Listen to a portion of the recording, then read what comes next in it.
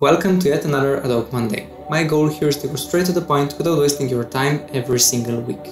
This is part 12 of this series and today we'll learn a few great tips on how to create logo designs in Adobe Illustrator. Are you ready? First thing first, you need to decide if you want your logo to be based on icon, on typography or a combination of both. Those are three main categories of logo designs.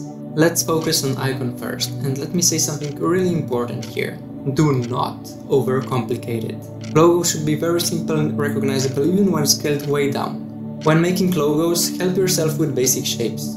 Try to combine basic shapes to create the final shape of your logo and by the way, using basic shapes also helps the final logo to be more recognizable when scaled down. Always try to combine different ideas together to create a meaningful icon.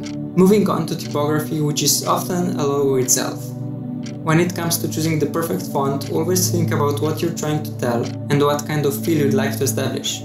Play around with different font types and when combining two typographies, use two very different ones and not two that look nearly the same.